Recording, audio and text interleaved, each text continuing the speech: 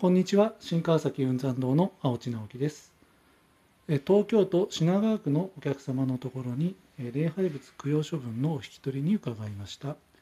お引き取りするものは、えー、と台付き仏壇の、えー、台付きなんですけど今こちらの画面上は台の上から下ろしてある状態です、えー、シタンの四輪型のお仏壇で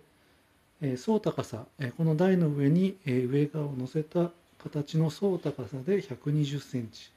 幅が67センチ奥行きが49センチという大きさです。そして中の使われていた仏具類